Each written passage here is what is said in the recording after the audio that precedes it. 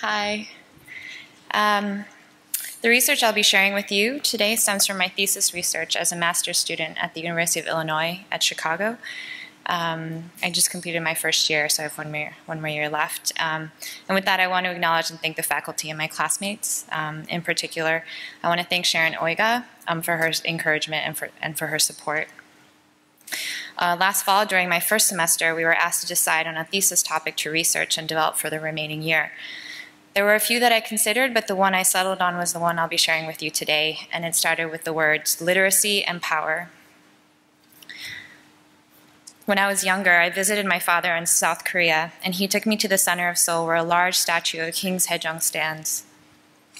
He said that Sejong was the great king who made the Korean alphabet in 1446, helping Koreans free themselves from the influence of China. I didn't fully understand what he meant by this, but it was something that I remember and something that I wanted to investigate. Before the Korean alphabet, many were illiterate because a difficult Chinese pictographic system was used. There are many dots to connect from an alphabet to freedom, and my research has involved the historical context and linguistic analysis surrounding the alphabet to better understand the relationship between literacy and culture. And when I use the term culture, I'm referring in a general way uh, to a cohesive and distinct group with common traditions, language, and, and values. My research has also included an investigation into disappearing languages, and specifically the efforts to preserve a once dying Native American language, Tolowa. To summarize quickly, in the Chinese writing system, the characters are pictographic in that the characters illustrate what they represent. They are also logographic in that different sounds are attached to different characters. The Chinese writing system is made up of over 30,000 characters, which requires a lot of memorization, but a working knowledge of about 3,000 would, would, suffice for everyday use. So here I'm showing 1,500, so add another 1,500 uh, to your memorization in order to be able to use it. Another issue is that the Chinese and Korean spoken languages are very, very different. The difference between the Korean and Chinese is no less than that between English and Chinese. Chinese is an isolating language, meaning that words or characters remain unchanged no matter what function they play in the sentence. Their function is signified by their position in the sentence. But, uh, but Korean is highly inflective and the matter somewhat analogous to Latin, Greek, or German. The added fact that the Korean language was so different than Chinese made the writing and reading of the Korean language in the Chinese system that much more difficult and unclear, and it resulted in literacy being limited to those who could afford the education. To be proficient in Chinese writing typically required about 10 years of elaborate education. King Sejong established the notion of the people of the heavens, while at the same time in China they referred to their king as son of the heavens, and the Japanese referred to theirs as ruler of the heavens. Sejong believed that if everyone was literate, they would be able to read and learn the appropriate way to act in society and, and within the law, which would in turn produce a society that was harmonious and strong. Moreover, if the Korean people had more access to literacy, they could, for example, more readily document productive farming methods. And these methods could be shared and read and learned by more people, resulting in larger harvests and less starvation. If the Koreans had their own writing system that better matched their spoken language, it would foster more literature, poetry, and communication, and therefore a stronger cultural identity independent of China's. By elevating his common people, Sejong, the fourth king of the Chosun dynasty, built a strong foundation upon which his dynasty continued to rule for another 500 years. This looks familiar, right, Aaron? um, he created a phonetic writing system comprised of 28, but now 24 basic sounds represented by letters that could be combined to form all the words within the Korean language. Because it's an alphabetic system, the Korean system is much easier to learn than the Chinese system. King Sejong created an alphabet that is one of the most scientific writing systems ever invented. For clarification, it's more widely understood that um, Sejong appointed a group of scholars to develop the alphabet, but more recent research indicates that Sejong himself was the likely inventor of the alphabet. Other characteristics of the alphabet include visual balance, a unit of letters representing a single syllable. This reads Hangul, the letters' shapes inspired by the shapes of the mouth when making its sounds, creating a strong visual connection between the sound and its symbol. Despite these truly innovative design features, its ease to learn and use, the powerful ruling class protested the new alphabet, an alphabet that would be easy to learn and therefore provide literacy to all, threatened their elevated status in society. High level officials protested the alphabet, saying that it was barbaric.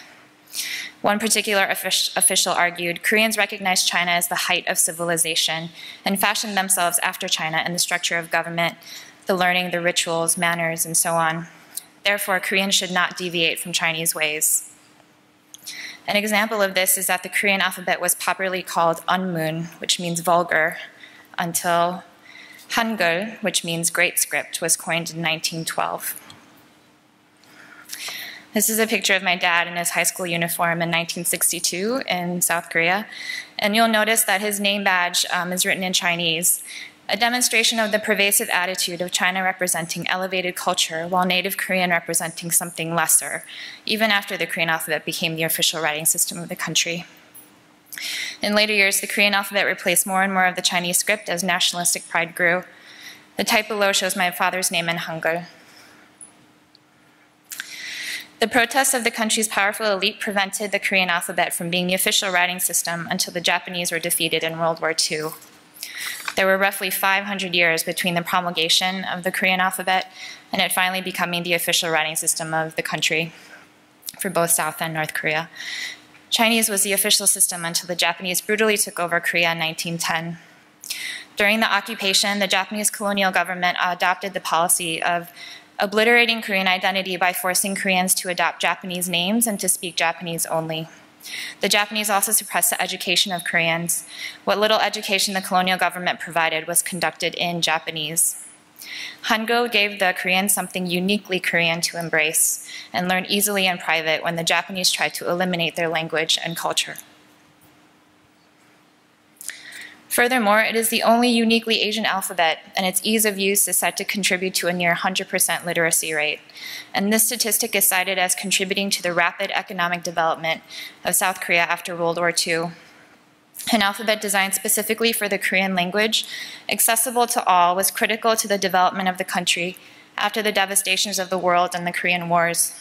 It gave the Korean people a communication tool uniquely Korean to embrace, if only in private, during the times of Chinese cultural imperialism and Japanese colonization. This reinforced their cultural legitimacy. Sejong studied the sounds and structure of the Korean spoken language and broke down the syllables into three distinct subparts initial, medial, and final. He realized that the initial and the final were made up of the consonant sounds, and the medial are the vowels. Thus was born the alphabetic system. The alphabet structure, organization, and graphic forms reflect the Korean Neo-Confucian understanding of the world. Yin and Yang are the primal opposite forces, and their activity produces natural phenomena in groups of five. For example, five elements, five directions, and five seasons. Similarly, studying the spoken language, Sejong grouped the consonants of the Korean alphabet into five basic sounds associated with the speech organ from which their sounds originate. The m sound depicts the outline of the mouth. N depicts the outline of the tongue touching the upper palate. S depicts the outline of the incisor or the tooth. The k or the g sound depicts the root of the tongue blocking the throat. And the zero terminal depicts the outline of the throat, and you can try this by trying to make an H sound. Looking at the different speech organs and the shapes they visually make in the articulation of different consonant sounds, Sejong connected the speech organ to a corresponding natural element, enunciate, direction, and season. For example, um, the zero terminal signifies the shape of the throat, the laryngeal aperture. The throat is seen as deep and moist and is analogous to water, which being fluid and transparent flows through its container. Similarly, the laryngeal sounds are produced by air passing through an unconstrained throat. So again, you can try that with an H sound. This relationship between the sounds and their corresponding speech organs is indicative of Sejong's Neo-Confucian ideology that emphasized the understanding of nature and humans' connection with it. As language, spoken and written, is largely the way people interact with one another, connecting his new alphabet to the body's physiology, and then to the world's basic elements, it mirrored, uh, it mirrored these fundamental cosmic patterns of interaction. Finding these relationships between the Korean language and nature may have also been a way to assert the legitimacy of the Korean culture. Furthermore, the vowel sounds were constructed from three symbols of heaven, earth, and man. Heaven was seen as round, earth as flat, and man connecting both heaven and earth was shown standing. These eight symbols, the five consonants and three basic vowels, were the basis from which the remaining 20 letters were composed um, by adding one or more strokes to the, basic, to the basic shapes. The stronger the sound, the more visually complex the characters become. The table shows the five consonant groups and related consonants in columns below the basic letter. For example, the m is the basic sound, and b, which is also formed by using the lips, um, is composed with the top line being pu pulled down to the closer to the center. The d is um, uses the same tongue to the mouth um, palate as the n sound, and so it's drawn with an additional top line. From d to t, there is yet another stroke added. Like the consonants, the vowels are divided into two groups related to yin and yang. Yin represents dark and yang represents bright. When the dot, which is now a short horizontal stroke, is placed above the earth, it is bright. When it is placed below, it is dark. When it's placed to the right of man, it is bright and when it is placed to the left of man, it is dark. As additional strokes were used for related sounds in the consonants, additional horizontal strokes are used as modifications to relate to vowel sounds. For example, the first, uh, the first one in pink is pronounced as ah, like when the doctor is looking at your tonsils. Um, and that's an example of a bright sound. The one below it has an additional horizontal stroke, and you add a y to it, so it's, it's ya. Um, and both, both, both vowels have the a as the same, but the one with the two horizontal strokes has the additional y sound. Um, similarly, um, this one in pink is ah, and that is an example of a dark sound. And you add the additional horizontal stroke, and it is ya. So ah and ya. Continuing the logic of stronger sounds, making more complexity in their symbol, there are consonant sounds that are represented by repeating consonants within a syllable block.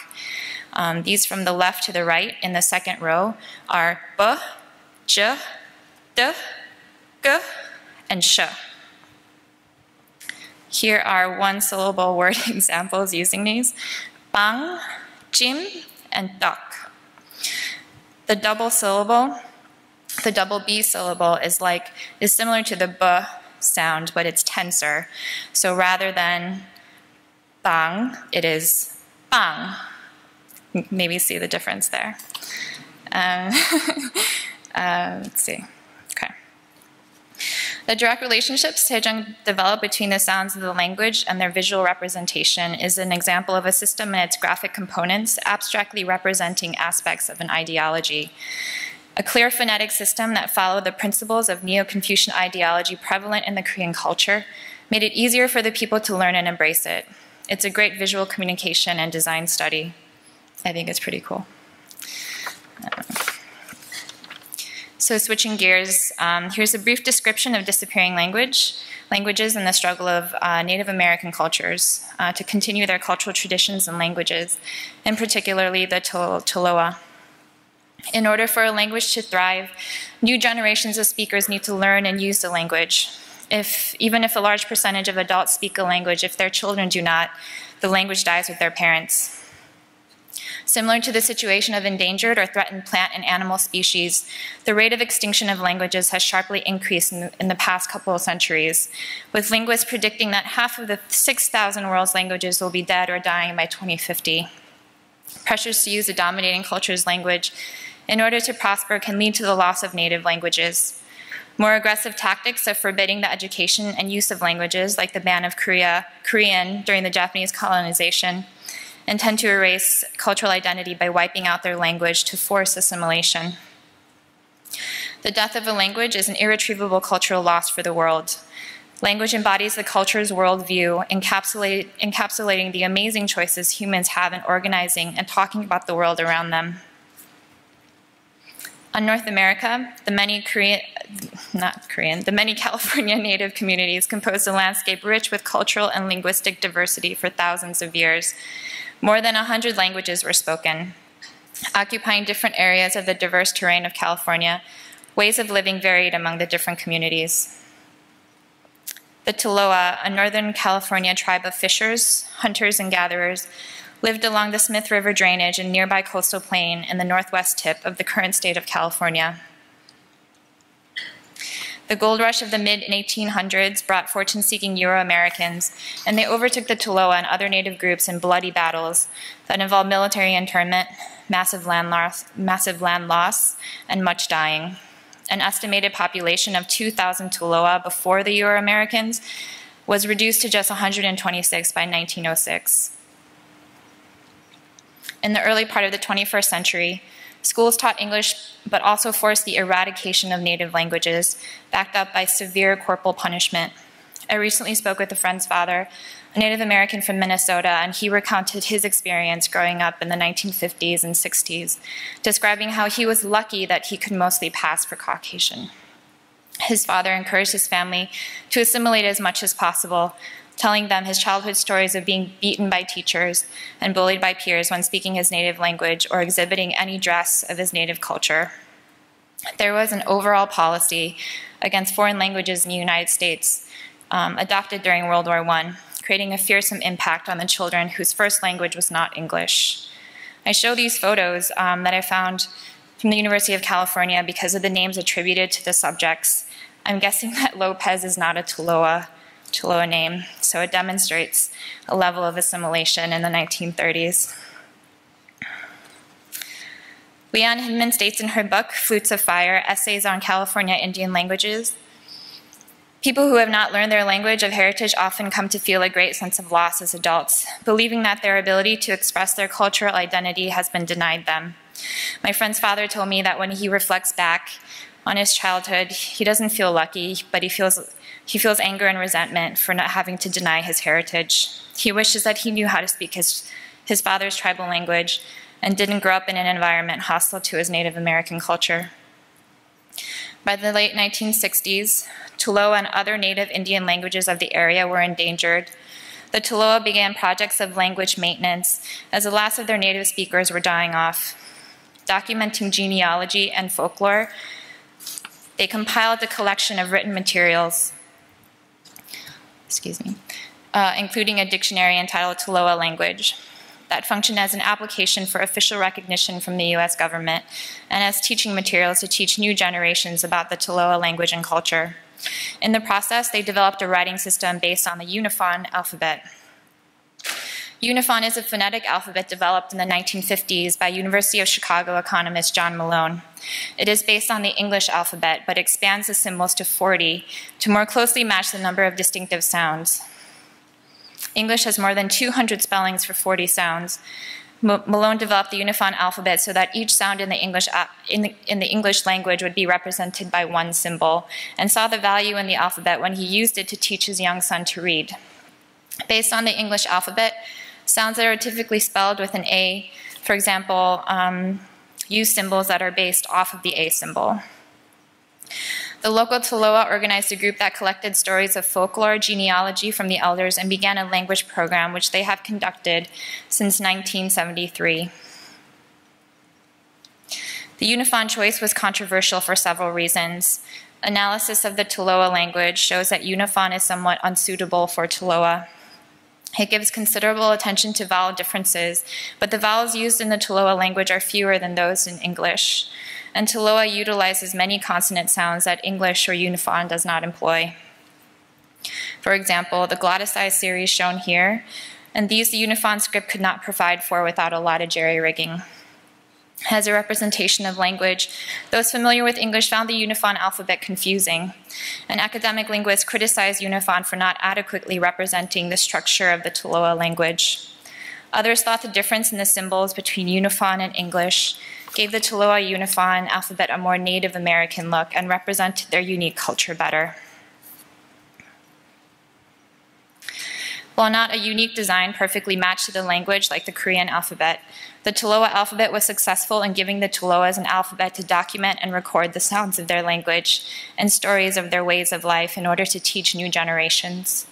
It also succeeded as a unifying communication tool to, di to distinguish themselves from the sorry, excuse me, from the overpowering American English-speaking culture surrounding them. Both the Korean and the Tolowa alphabet functioned to give their spoken languages a written system and also acted as a unifying communication tool. In both cases, the alphabets helped define their respective cultures as distinct and legitimate. And I will conclude by quoting Krista Radoeva, um, the Catalyst Award winner, um, from her presentation yesterday. She said, uh, cultural identity is preserved in a writing system. Thank you.